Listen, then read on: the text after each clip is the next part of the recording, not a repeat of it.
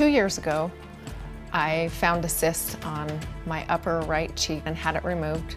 In just one week, in the area that I had the cyst, I had two quarter size bubbles of pus. Within a month's time, it spread to a third of my face. It's physically painful, but it's definitely more emotionally painful. I can't even explain what it is, and doctors surely can't.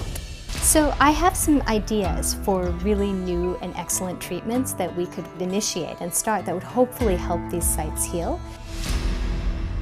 Dr. Batra joins us, and you know, without further ado, you know all the struggles Missy's been going through, not not only emotionally, but trying to get a diagnosis. So, what did you find in your evaluation? It really looks like a, an inflammatory condition called pyoderma gangrenosum.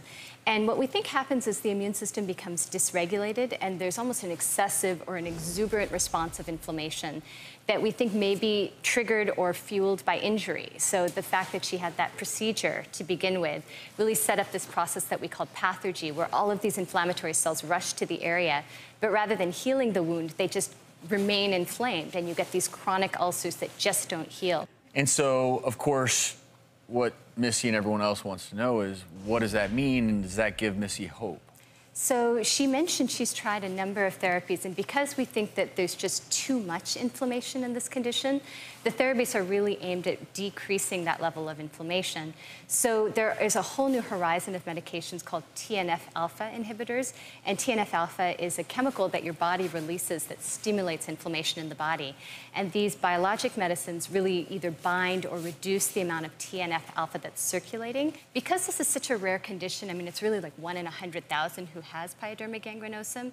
There aren't a lot of medicines that are specifically mm-hmm. approved mm -hmm. for this, but we're going to be using it in sort of an off-label way that we think will actually really and, help. And prognosis, what do you, what do you predict her scars her, her skin will look like after the, it's good, it will take several months, correct? Exactly. So what we'll do is we'll really kind of overlap the medicines she's taking with this. And usually people within two or three months really notice healing.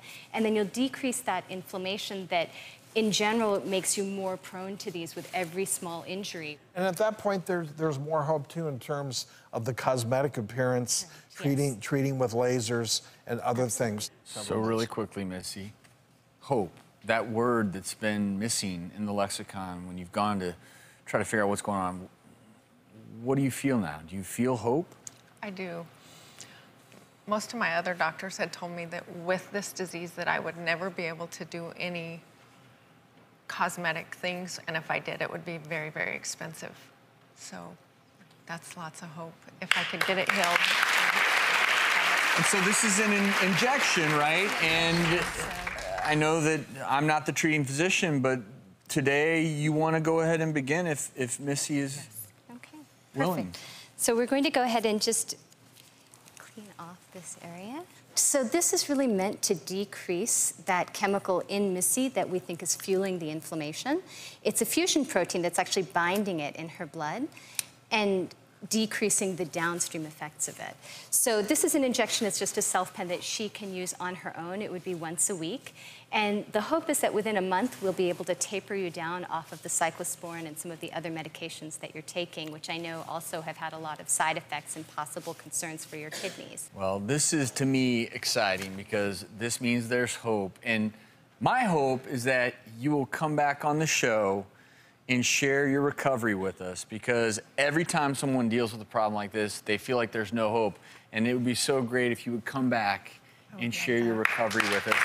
Missy, thank you for being so brave. Dr. Batra, thank you as well for what you've done for Missy.